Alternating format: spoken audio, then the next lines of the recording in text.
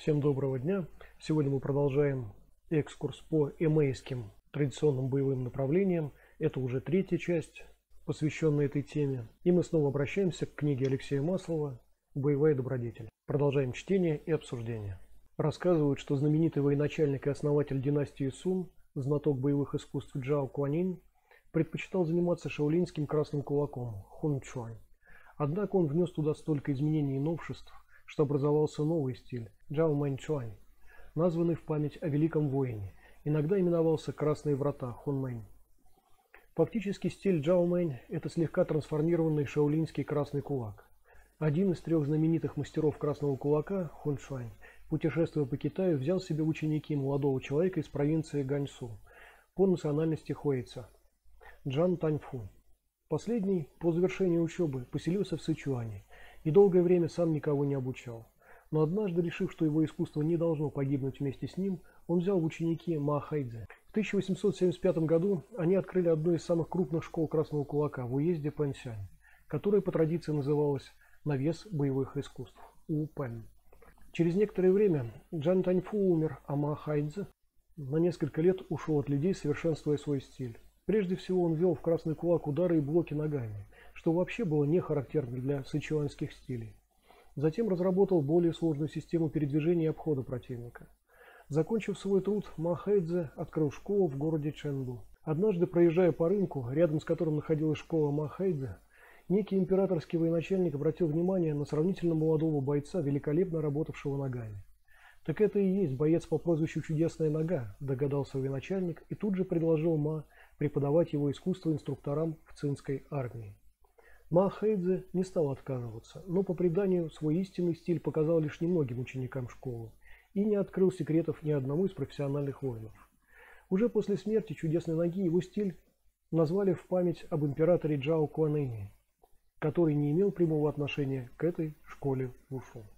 Здесь хотелось бы немного остановиться и обсудить вот этот вот момент неполного раскрытия отдельных принципов боевого искусства, которые, ну, по крайней мере, на постсоветском пространстве, ну, наверное, все-таки на мировом пространстве в определенное время переросло в целый ряд легенд, которые как бы говорили о том, что есть масса таких потаенных, сакральных каких-то школ боевых искусств, которые принципиально не занимаются обучением не только западного человека, но и даже э, там как-то и в Китае не особенно преподаются кому попало, да, и что есть там какие-то секретные техники волшебные и прочее подобное.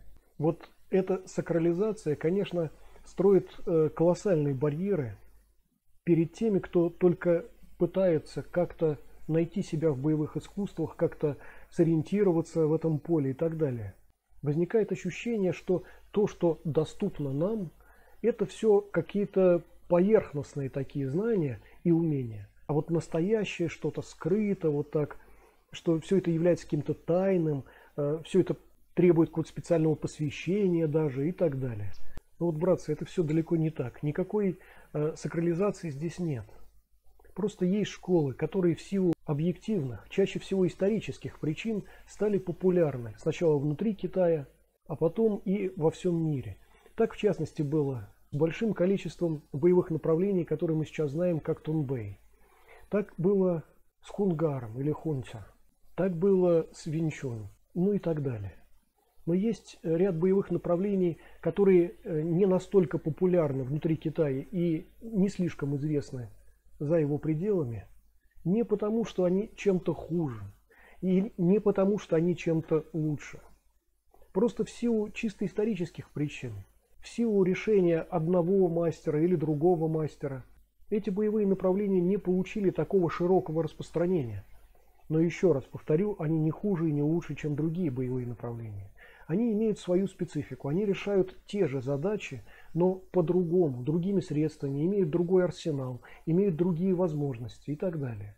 Вот в частности, в предыдущих видео, посвященных MH1, мы с вами говорили о том, в принципе, как много в этом эмейском кулаке есть боевых направлений – уделяющих внимание работе руками. И сейчас вот видим, как в одном из эмейских направлений, вот в этом красном кулаке Хоншуань, возникает больше тяготения к работе ногами. В этом смысле красный кулак немножечко отличается от, например, от Хуо Лон Чуань, о котором мы говорили в первой части, посвященной мейским боевым направлениям. Хотя Хуо Лон тоже работают ногами достаточно плотно, много, но это другая специфика, это другой подход. И если, например, тот же Хуо Лон Чуань в силу объективных исторических причин стал более-менее известным и по-своему популярным, пусть не таким популярным, ну, например, как э, тот же Хунца, то вот этот красный кулак, ну, наверное, он где-то менее популярен сейчас, менее известен, хотя он не является каким-то совсем скрытым, э, тотально таким локализованным и так далее. И подобные тенденции э, такого нераспространения боевого какого-то направления мы наблюдали еще раньше, когда мы говорили о других еще традиционных китайских боевых искусствах. Когда мы говорили, например, о том, что окинавские боевые направления, часть их, была сформирована, ну, например, одним традиционным китайским боевым искусством, корни которого утеряны на сегодняшний день. Да? То есть такая история вполне характерна вообще для боевых искусств, и не только для боевых, конечно, искусств, для разных направлений человеческой мысли и человеческих изысканий. И в этом смысле понятие традиции, которое зачастую неверно приписывается боевым искусствам китайским, вот это понятие традиции здесь не срабатывает. Нет пустого, э, какого-то архаичного подхода к тому, что традицию надо сохранять любыми средствами. В Китае этого нет. В боевых искусствах, по крайней мере, этого нет. Боевые искусства могут рождаться, жить и умирать. И если какой-то из мастеров, там единственный, например, представитель своей школы, не найдет достойного ученика, это боевое искусство вполне может умереть. И наоборот, если возникнет какая-то объективная причина для распространения э, этого боевого искусства, для его популяризации, то, естественно, э, боевое искусство становится популярным. Как это было, например, в период подготовки боксерских восстаний, так называемых, да, когда вращающемуся кулаку Фан Цзюцюань обучалось большое количество людей, когда формировались разные направления под общим названием хунгар или хунтя, и эти боевые направления получали довольно широкое распространение, потому что большое количество людей обучалось этим боевым искусством. Но продолжим. Третий большой стиль восьми листьев связывают с именем знаменитого китайского полководца Юэ Фэя. Родившись в простой крестьянской семье, он в 19 лет пошел на воинскую службу и сразу же проявил себя как бесстрашный боец. Он якобы и создал школу Юэ Фэя, Юэ арсенал которой был сравнительно невелик, но позволял безоружному защищаться даже от меча и пики. Это достигалось за счет низких устойчивых позиций и быстрой работы руками. Считает, что самому UFA принадлежит наставление о круговых ударах кулаком. Не описав дугу, не нанесешь удара. В школах этого стиля у алтаря обычно располагается портрет UFA, перед которым совершаются поклонения, выжигают благовония и сжигаются жертвенные бумажные деньги. Здесь хотел бы снова остановиться и обратить ваше внимание на то, что Вопреки измышлениям людей, далеких от боевых искусств, мы видим, что целый ряд таких боевых направлений традиционных формировался буквально в боевых, батальных, в том числе, реалиях. И мы видим, что, например, одно из боевых направлений, UMN, о котором мы сейчас говорили, формировалось таким образом, чтобы безоружный человек мог сражаться против вооруженного. Это лишний раз говорит о том, что люди утверждающая в силу своей некомпетентности, что традиционные боевые искусства какие-то нерабочие, что эти люди, в общем-то, неправы.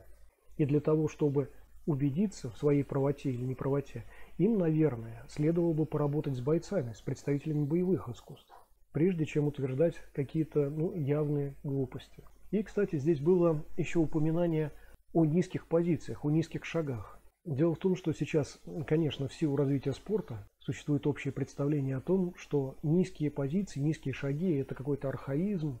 Но э, в спортивных реалиях это так. Там не нужны низкие позиции, потому что правила определенным образом влияют на действия бойцов. И когда речь идет не о поражении насмерть, не о нанесении явного ущерба здоровью оппонента и так далее, вы вынуждены действовать таким образом, чтобы ваши удары за очки или пусть даже за условное поражение, чтобы эти удары достигали, во-первых, безопасных зон, во-вторых, очень часто просто на касание, когда опять мы говорим об очках каких-то, или о том, чтобы на время условно отвлечь противника, выполнить бросок и добивание, как это, например, мы наблюдаем в спортивном карате. В этом смысле цели перед спортсменом стоят совершенно другие, чем перед бойцом. Именно поэтому в спорте вот эти вот низкие позиции вообще не нужны. Но в боевых искусствах есть масса направлений, которые используют очень низкие шаги. Идем дальше. Четвертый большой стиль Думэнь не имеет столь красочной истории, как предыдущие. Зато подготовка бойцов здесь сложнее и эффективнее. Стиль был создан выходцем из провинции Дзянси Ду Гуанинем, который в 40-х годах XVIII века переехал в Сычуань. Он отказался от изучения комплексов, считая их непригодными для отработки прикладных аспектов ушу. Ду Гуанин назвал свой стиль вратами естественности – Цзэжаньмэнь и построил его на изучении восьми захватов и болевых замков – Цинна. Здесь еще раз остановлюсь. Вопреки опять расхожему мнению людей далеких от боевых искусств, как мы уже говорили, есть боевые направления, в которых нет Тао, нет Таову. И это лишний раз подтверждает, что роль Таову, во-первых, не во всех боевых направлениях является какой-то ведущей, важной и так далее. Во-вторых, мы уже с вами говорили о том, что есть боевые направления, в которых Тао буквально выражают основные тенденции работы с противником. Есть боевые направления, в которых Тао выражают отдельные принципы, которые еще надо развить и несколько переработать для боевой практики. И, наконец, есть боевые направления, в которых отсутствует Тао вообще. Вот одним из этих примеров выступают боевое направление Цзэжаньмэнь. Читаем дальше. Чтобы их применить, ну в смысле применить захваты и болевые замки, вот эти цена, используют 10 способов сближения с противником и особая методика захвата запястья нападающего. Для отработки захватов Ду Гуанинь и его последователи создали систему отработки захвата и тренировки силы пальцев. В течение первых нескольких месяцев ученики отжимаются на пальцах, наносят ими удары в мешок с песком, затем переходят к методике конопляного шнура, вырабатывая навык ловить руку соперника, выполняя круговые движения, двойные и тройные блоки одной рукой. На последнем этапе используется тренажер-столб из сена, в центре которого находится бревно. К нему приделывались палки на разных уровнях, руки и ноги. Некое подобие традиционного снаряда, называемого деревянным человеком – мужень. В стиле Думэйн этот снаряд называется столб травяного дракона – Цаолунчуан и может вращаться в разные стороны. Здесь еще немножечко ненадолго остановимся. И, во-первых, хотел обратить внимание на фразу вырабатывая навык ловить руку соперника, выполняя круговые движения, двойные, тройные блоки одной рукой. Это вот очень важный момент. Это по поводу того, что постспортсмены, например, считают защитой какие-то статичные достаточно положения рук. Вот для традиционных китайских боевых искусств это далеко не так. Статичное положение является мертвым. И только в динамике выражается тот или иной способ защиты. Как я уже говорил, одной рукой можно защитить вообще все тело, но только в динамике. Поэтому, когда вы видите спарринги представителей боевых искусств, нередко вы вообще не видите вот этих статичных позиций рук. Иногда видите в каких-то боевых направлениях, ну, например, в Ипмановском винчу, иногда не видите, как это, например, выглядит в фанзичуань. Потому что, еще раз, защита осуществляется в динамике. Статичное положение рук вообще никак нигде не применимо подобных боевых направлениях. Идем дальше. Техника цена и стиля Думэнь перекочевала в эклиптическое направление эмейского вушу, нацеленного исключительно на бой с полным контактом – эмей саньда. Сейчас оно включает помимо ударов 31 базовый захват с болевым замком и 14 бросков. Система захватов в MAPI рассчитана на наиболее слабые сочленения сухожилия – запястья, пальцы, шею, чуть реже локтевые и коленные суставы, ахиллесово сухожилия. Всего существует 17 видов цена.